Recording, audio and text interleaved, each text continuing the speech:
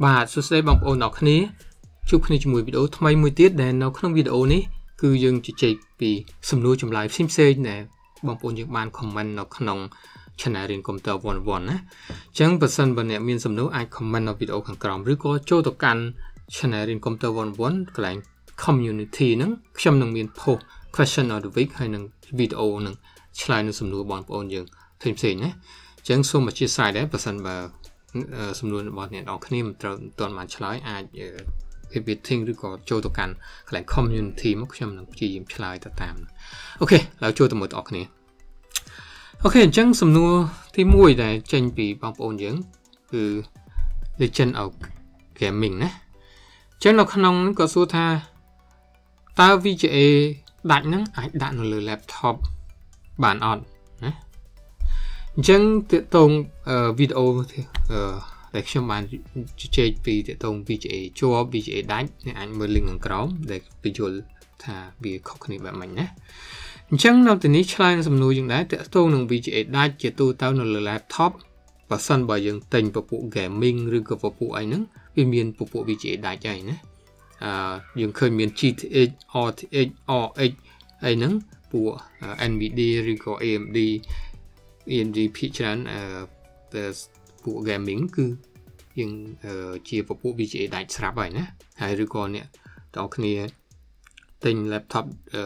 Apple M1 ក៏វាមានគេហៅ GPU VGA ដាច់នៅក្នុង CPU នឹងស្រេចតែម្ដងអញ្ចឹងតកតងនឹងសំណួរយើងទៀតសោតគឺជាទូទៅបើសិនបើយើងទិញ laptop ធម្មតា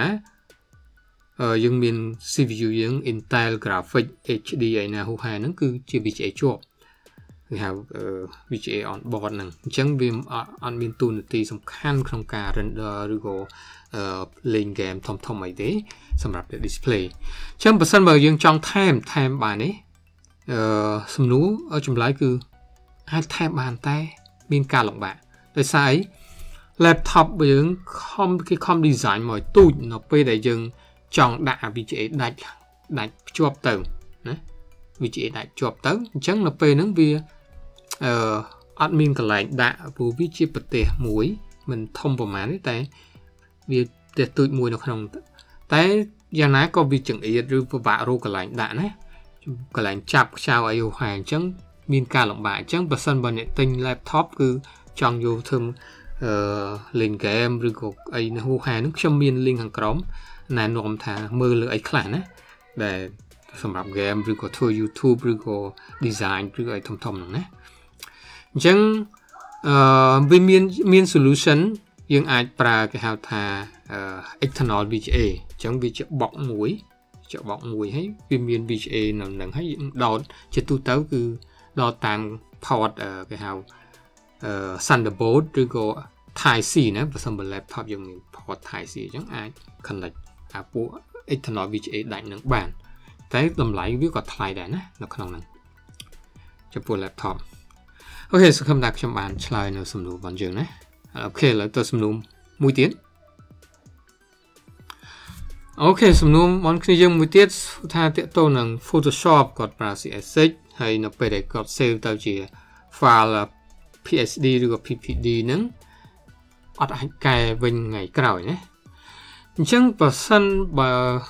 ជាទូទៅយើងធ្វើខ្លួនយើងអីហូហែនៅពេលដែលយើងបើកថ្ងៃក្រោយគឺមិនគក់ ជាទូទៅមិនត្រូវមានបញ្ហាទេណាយើងអាចធ្វើការកែវាភ្លាមភ្លាមកែវាបាន ទាំង font ទាំងអីហូហែតែបញ្ហាមួយចំនួនឧទាហរណ៍តកតងនឹង font បើសិនបើ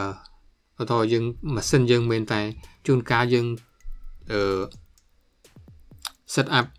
ហើយយើង set up Windows ថ្មីឬក៏អីហូហែយើងអត់បានតម្លើង font ហ្នឹងវារក font អត់ឃើញអញ្ចឹងវាអាច error ឬអីចឹងទៅ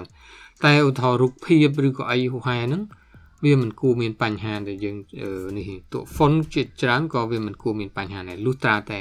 យើងអាប់ដេតថ្មីអត់តម្លើង font អីចឹងណាចាហ្នឹងពិបាកកែឬក៏ពេលខ្លះយើងអឺ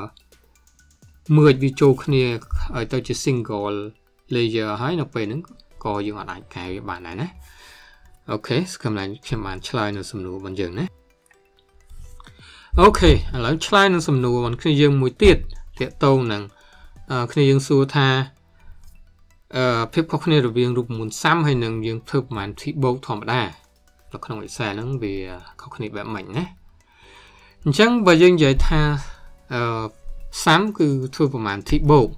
អញ្ចឹងវាមានលក្ខណៈ flexible យើងអាច sum ហើយបើកមកចយពីណាដល់ណាអញ្ចឹងទៅយើងគឺក៏ប្រើក្បៀសក្បៀសអញ្ចឹងវាមានលក្ខណៈលឿនហើយនឹងងាយស្រួលចំណែកឲ្យយើងប្រើ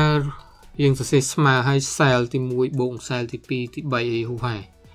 អញ្ចឹងវាបូកចេញលទ្ធផលដូចគ្នា តែលំនាំនៃការសរសេរខុសគ្នា មានន័យថាយើង manual មួយមួយមួយមួយមួយហ្នឹងណា manual មួយមួយហើយបើគេមកមើលទៅគេថាយើងអត់សូវចេះរូបមន្តណាពេលខ្លះគេអាចថាអញ្ចឹងតែពេលខ្លះលក្ខណៈងាយស្រួលគឺយើងសរសេរស្មើហើយ cell ណាបូក cell ណាគឺបានតែម្ដងណា ចឹងអឺជំរឿពីរហ្នឹងជាទូទៅយើងប៉ះសិនបើនេះយើងប្រើសាំទៅវាមានលក្ខណៈងាយស្រួលហើយនឹងលឿនណាកាលណាយើងបូកតម្លៃលេខ4 5តម្លៃឬក៏10តម្លៃអញ្ចឹងលឿនតែបើយើងបូកមួយមួយចំណាយពេលយូរតែបើយើងចង់បូកទីតាំងផ្សេងផ្សេងទីតាំងខាងនេះខាងលើខាងក្រោមអាយុហើយយើងប្រើក្បៀសក្បៀសក្បៀសហ្នឹងអឺប្រើក្បៀសក្បៀសនៅក្នុងសាំក៏បានឬក៏យើងប្រើបូកស្មើបូកសាលណាបូកសាលណាក៏បានដែរណា អញ្ចឹងអឺអានឹងជាតម្រូវការរបស់យើងហើយជាទូទៅខ្ញុំ recommend ឲ្យប្រើរូបមន្តសាំណាអញ្ចឹងនៅពេលនោះយើងថ្នឹកនៃការប្រើប្រាស់រូបមន្តផងដែរអូខេអរគុណច្រើនចំពោះការមើលវីដេអូតាំងពីដើមដល់ចប់ហើយបើសិនមានសំណួរផ្សេងៗ comment នៅខ្ញុំដល់ផងណាអូខេជួបគ្នានៅវីដេអូក្រោយ